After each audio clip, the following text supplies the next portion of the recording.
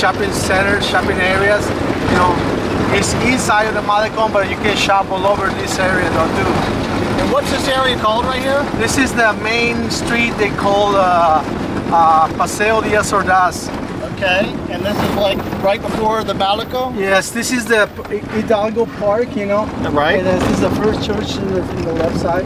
Okay, we're gonna have to check that out And too. also we have, a, uh, uh, they start the bars right here, like the party bar in the second floor. Got it. And a nice restaurant too, they call uh, um, uh, uh, Tino's Dinner Restaurant in the second one. Right.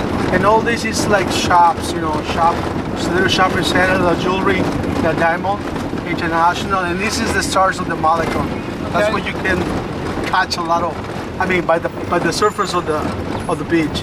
All right, perfect. Well, this is where we're getting off. Thank you. All right.